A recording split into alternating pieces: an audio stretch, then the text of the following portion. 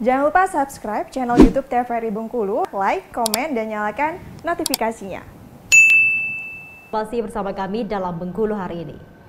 Setelah Dinas Perindustrian dan Perdagangan Provinsi Bengkulu menyebut ketersediaan telur ayam ras di kota Bengkulu terbatas, sementara permintaan pasar masih tinggi.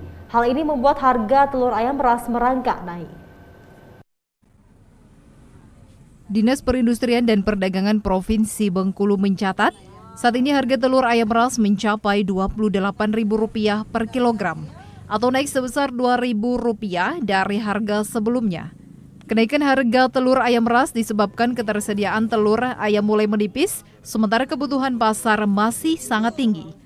Meskipun demikian, Kepala Dinas Perindak Provinsi Bengkulu menyebut, kenaikan harga telur ayam tidak terjadi di seluruh pasar tradisional dari dua pasar tradisional yang ada di kota Bengkulu.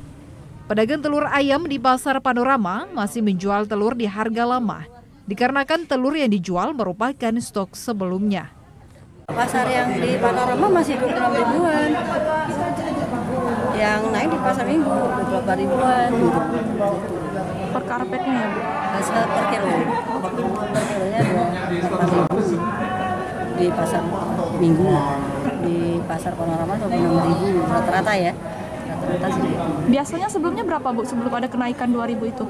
26 ribu 26 ribuan memang dua-dua pasar itu sama biasanya 26 ribu 600 per kilonya Untuk menyiasati kenaikan harga telur ayam ras, biasanya konsumen mengurangi kebutuhan atau memilih membeli telur ayam ras yang sudah pecah. Lucia Mayangsari, TVRI Bengkulu melaporkan.